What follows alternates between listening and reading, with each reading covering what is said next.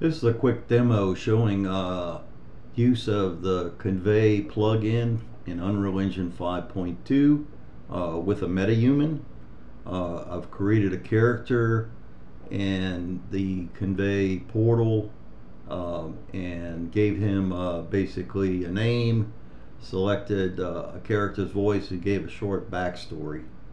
Um, in Unreal Engine, uh, what I've done is by default, um, you typically use the T key on the keyboard in order to uh, converse with the uh, the NPC uh, using Convai.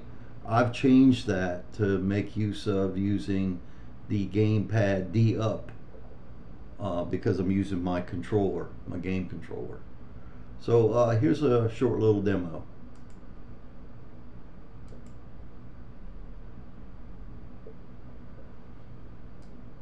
So I'll just move him into place here.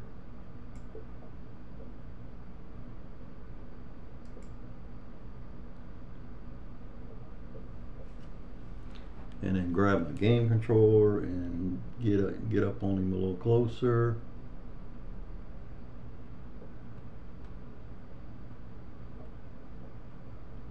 Okay. Hi there, how are you? Hi there. I am doing well. How can I help you? What is your name? My name is Wayne. My name is Sergeant Vallejo. It's nice to meet you. Wayne. How can I be of assistance?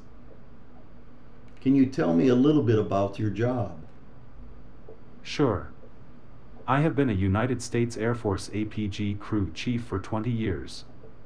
I have worked on F-16s, B-1, BS, and B-52s. How old are you? I am 45 years old. Can you tell me more about your job? Sure. As a crew chief, I am responsible for maintenance and repair of aircraft.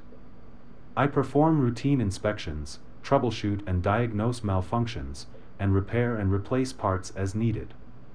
I also ensure that all of the aircraft systems and components are in good working order. Can you tell me a little bit about the B-52? Sure. The B-52 is a long-range, subsonic, jet-powered strategic bomber.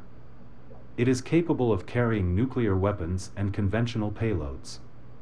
It has a range of more than 8,000 miles and can fly at altitudes up to 50,000 feet.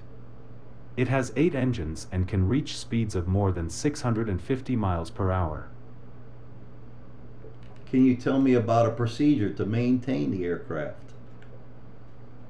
Sure. The maintenance of a B-52 includes regular inspections repairs, and replacements of parts. It also involves ensuring that all components and systems are functioning properly.